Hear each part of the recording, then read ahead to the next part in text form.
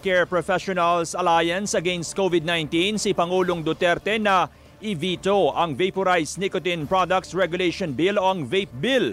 Sa panayam ng teleradyo, iginiit ni HPAC convener Dr. Antonio Danz na delikado ang paggamit ng vape dahil halos pareho lang ang epekto nito mula sa paggamit ng regular na sigarilyo. Nababahalaan niya ang kanilang grupo dahil sa probisyon ng panukala dahil pinapayagan na ang mga labing walong taong gulang na bata na mag-vape. Gayun din na inilipat sa Department of Trade and Industry ang regulasyon ng produkto sa halip na sa Food and Drug Administration. Pagka ang non-smoker o kabataan ang gumamit ng vape, ah tatlo ang pwedeng mangyari.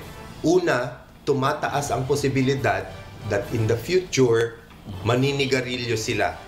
Four times more likely that they will smoke in the future. It's also three times more likely that they will use illicit drugs, no? So mga bawal na droga. And it is also more likely that they will abuse alcohol in the future. Hindi ho yan harm reduction. Harm introduction po yan.